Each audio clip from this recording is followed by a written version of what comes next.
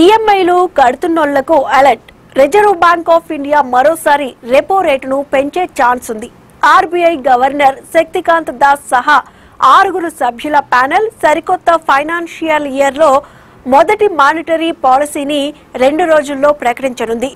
ఇన్ఫ్లేషన్ను control చేసేందుకు వడ్డీ రేటును ఇరవై ఐదు బేసిస్ పాయింట్లు పెంచుతుందని విశ్లేషకుల అంచనా. సోమవారం నుంచి గురువారం వరకు RBI monetary policy committee meeting జరుగుతోంది. గురువారం అంటే ఏప్రిల్ ఆరో తేదీ మధ్యాహ్నం కల్లా రెపో రేటుపై శక్తికాంత దాస్ నిర్ణయం ప్రకటిస్తారు. బహుశా ఈ ఎంపీసీ మీటింగ్ తర్వాత వడ్డీ రేట్ల పెంపు ఉండకపోవచ్చని నిపుణులు అంటున్నారు.